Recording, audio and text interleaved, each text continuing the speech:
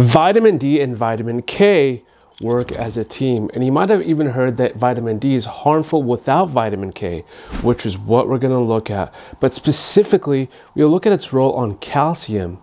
You see, vitamin D3 and K2 both ensure that calcium is absorbed easily and reaches our bones while preventing something extremely important from happening arterial calcification, which is what we want to avoid at all costs. Because remember, not only do we want our bones to be healthy, we want our hearts to be healthy too. We don't want the calcium going into places it doesn't belong, and D3 combined with K2 is said to prevent that from happening. So let's dive into this interplay and see what we can find. Also, real quick before we get started, it would mean the world to me if you hit the like button down below for the YouTube algorithm and turn the bell on to stay up to date with new weekly videos. Let's start with what they are. Vitamin D3 and K2 are essential fat soluble vitamins, which means they are abundant in foods with high fat and their absorption is increased with fatty meals. Approximately 11 grams of fat should help with absorption of these vitamins. But remember, vitamin D is also called the sunshine vitamin. For example, in the summer in Miami, with 25% of the body exposed to the sun, a person would only need three minutes of sun to get the sufficient amount of vitamin D. That same person in Boston in the winter would need 23 minutes of the sun to produce enough vitamin D. So, yes, location and seasons matter, but not to worry because it's found in fatty fish and fish oil too.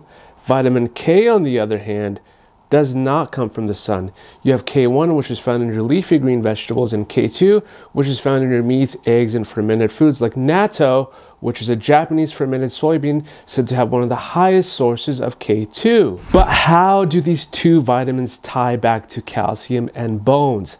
That's a good question. Let's start with D. One of vitamin D's primary functions is to promote calcium absorption and make sure the calcium levels in your blood are balanced with the calcium in your bones. This is why vitamin D deficiency is said to cause bone loss because that balance is missing. And when calcium intake is low, what happens? Your body really has no other choice but to use the calcium storage in your bones, even if it's at the cost of bone loss and osteoporosis over time. Which is why you need vitamin D3. Yes, there is vitamin D2 as well, but the body efficiently absorbs D3 much better, which means your D deficiencies can be resolved a lot quicker with D3 versus D2. But why not just stop there if that's the case? Well, it's essentially because of this theory that vitamin D does not fully control where the calcium in your body ends up. It knows that it needs to regulate and keep the calcium balance in check, right? But where it sends the calcium is still being investigated. That's where vitamin K steps in. Vitamin K is said to activate osteocalcin, which is a protein that promotes accumulation of calcium in your bones and teeth. That's great because we want the calcium in those areas, the bones and the teeth. But more notably so, and you might have heard already, that it's said to activate matrix GLA protein, which prevents calcium from accumulating in the soft tissues like your kidneys and blood vessels. That's a big deal too, right? Some people are concerned that a high vitamin D intake may promote blood vessel calcification and heart disease in people that are already low in vitamin K. And the way this theory is portrayed is through the lens of vitamin D toxicity, which is your excessively high vitamin D levels. Your excessively high D levels would cause a condition known as hypercalcemia or excessively high calcium levels. So, too much D causes too much calcium. This is bad because both your calcium and phosphorus levels go whack, and calcium phosphate starts to accumulate in the lining of the blood vessels too, which then causes all these health implications to arise. And when looking at the narrative review for this that highlights the synergistic interplay, we have two human intervention studies in healthy populations.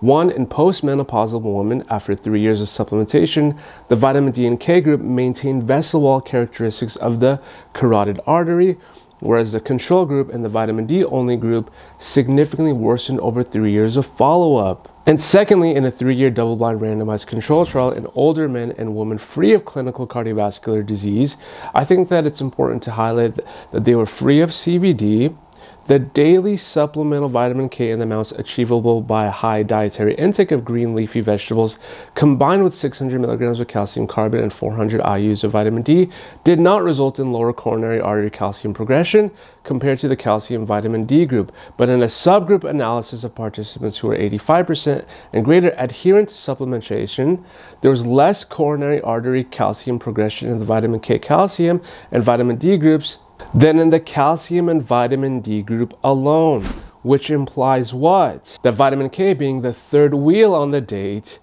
made sure that vitamin D and calcium don't get into any funny business, aka the progression of vascular calcification. But it still doesn't answer the big question. Are lower doses of vitamin D harmful in the long term without K2? Or was it just higher doses of vitamin D that mattered? Secondly, is there anyone who actually is deficient in vitamin K?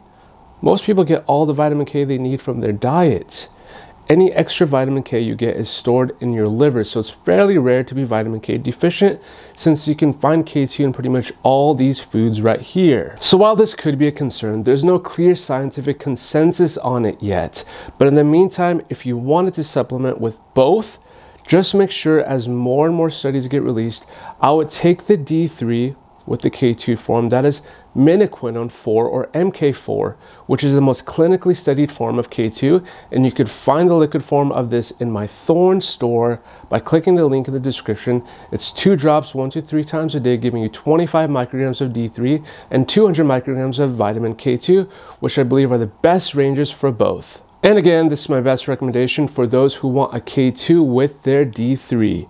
One thing that I think is super important to know is that having your D levels checked before you supplement is probably one of my most important things that you could do to keep track of your progress. You don't want to be in the business of guessing, especially with your health. In my Thorne store, you could also find a vitamin D test that you could check your levels before as well as three months after to see your progress.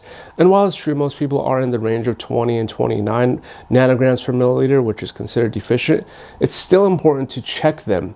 The ideal range should be somewhere between 40 to 70. And with levels approaching 100 nanograms per milliliter and more, being considered over supplementation or hypervitaminosis D. And speaking of vitamin K, on the other hand, if you're taking Coumadin or warfarin, it may be best to avoid vitamin K, or even better, asking your doctor if it's safe to take the K2 form just so that they can confirm with you if you're even the right candidate for it, just as a side of precaution.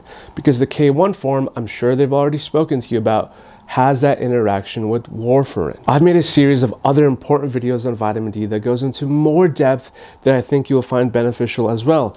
We talk about the sun, we talk about how to take it, the dose, toxicity, and so much more, which I'll link down below, all of them for you. And if we go back to the study I mentioned earlier, I'll end with this because the literature said it perfectly. The consumption of a well balanced diet, which is something I always emphasize on my channel, is key for population based primary prevention of chronic diseases.